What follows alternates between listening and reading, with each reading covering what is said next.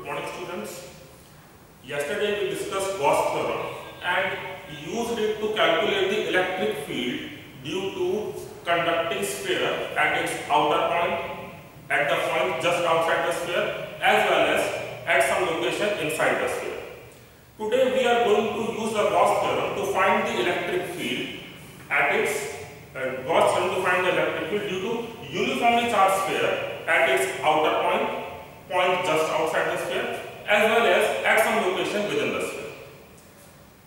When I am using the word uniformly charged sphere, I meant to say that charge is residing within its volume also. Of course, it cannot be the conducting sphere because had it been the conducting sphere, charge would have been repelled to the outer surface and definitely it will be residing on the surface of the conductor. So when I am saying uniformly charged conductor, I mean the charge is residing within the volume of the conductor. Of course, it is a non-conducting body. Now, suppose this is a sphere which has radius r and charge on the sphere is q. And I want to find the electric field at some outer location m. This location is supposedly distance r away from the center of sphere. Now, how do we calculate the electric field using Gaussian theorem? What we do, we try to trap the given body within some surface. And that surface has to have some symmetry with the given body. Of course, taking consideration of this fact, that body should be spherical. So, let our Gaussian surface is spherical in shape. And it should be passing through the point whereon we want to find the electric field. That is position. Now, the charges within this sphere must be emitting some electric field lines in its surrounding. If we consider small surface of the Gaussian, the electric field and the area vector over here should be in the same direction, whichever surface it may be. Suppose this is ds, this is at all the regions of this surface, electric field and area vector are parallel to each other. That means E and ds makes an angle 0 with respect to each other. Now, according to Gauss theorem, the net electric flux coming out through this closed surface is equal to charge enclosed divided by epsilon naught. Of course, charge enclosed within this Gaussian surface is the entire charge of the sphere, that is capital Q. Now, I will get rid of this dot product.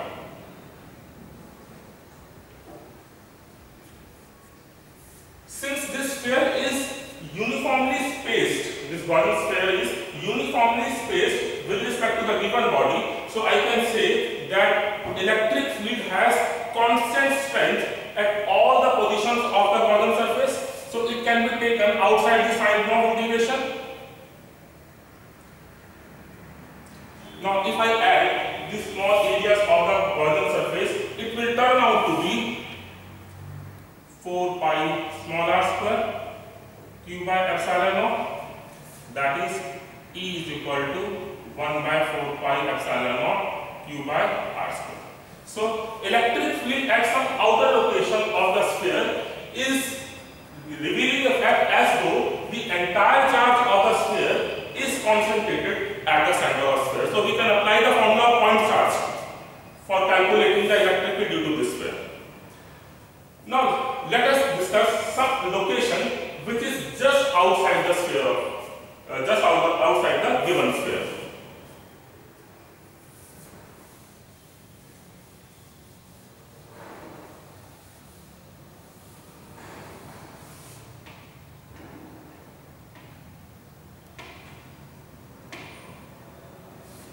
Suppose I want to find the electric field at this location M, just outside the sphere. Again, I will repeat the process. I will draw a Gaussian surface just outside the given body.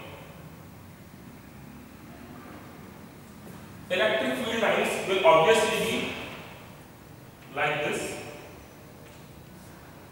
And at all the locations, electric field lines and area vector are parallel to each other.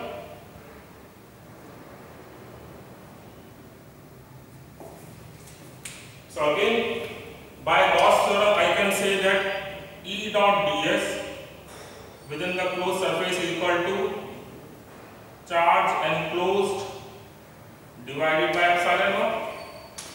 Again, E and ds are parallel to each other. I can write it like this: E ds cos 0 equal to q by epsilon naught. E is constant at all the locations. E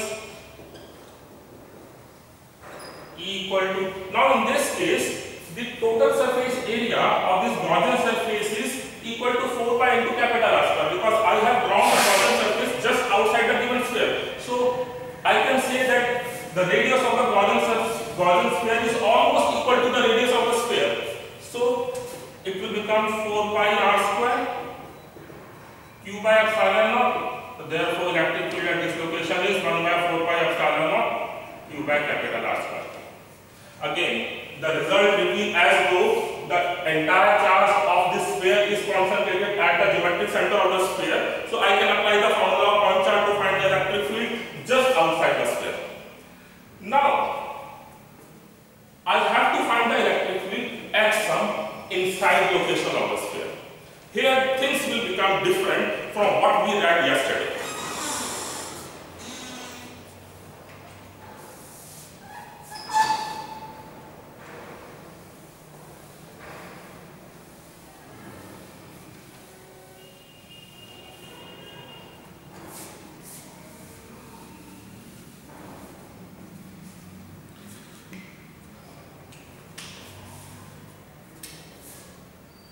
This is uniformly charged sphere.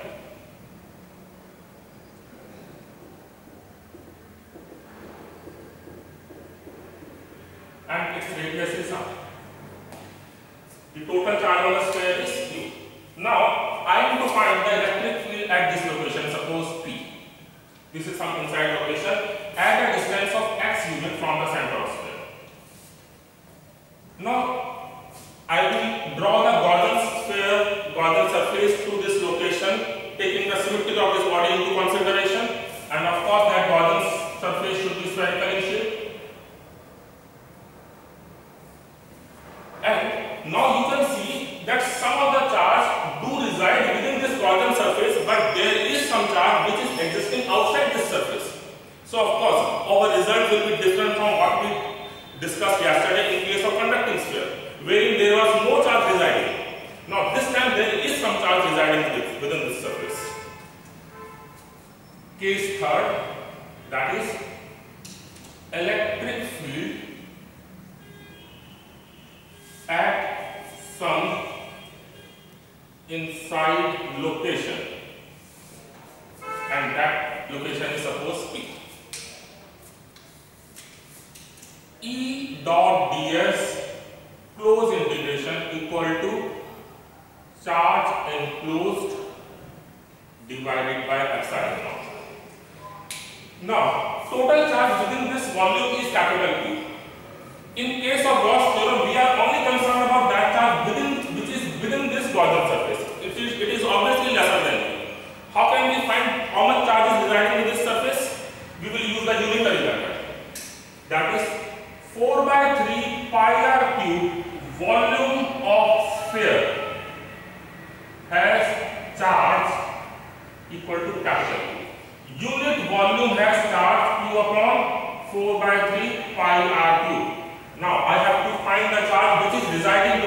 the sphere of radius x. So 4 by 3 pi x cube volume of sphere has charge Q upon 4 by 3 pi r cube into 4 by 3 pi x cube. So it will turn out to be q x cube by r cube. This much charge is residing within the Gaussian surface.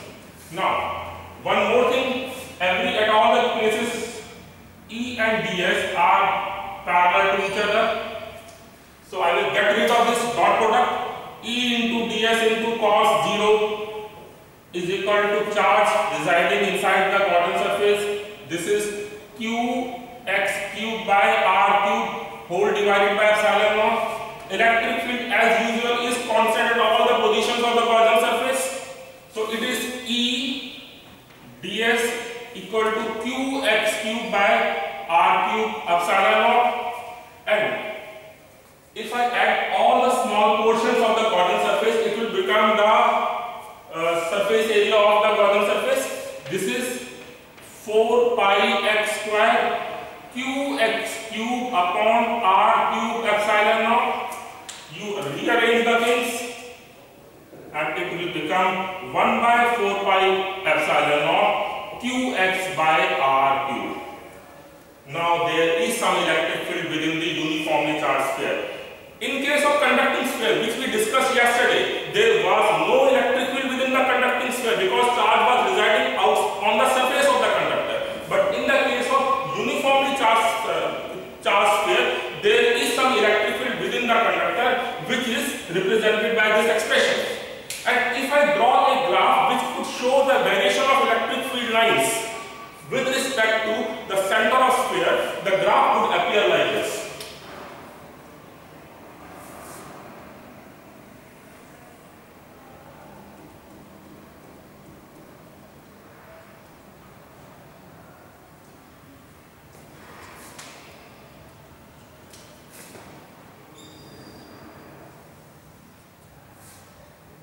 electric field distance from center.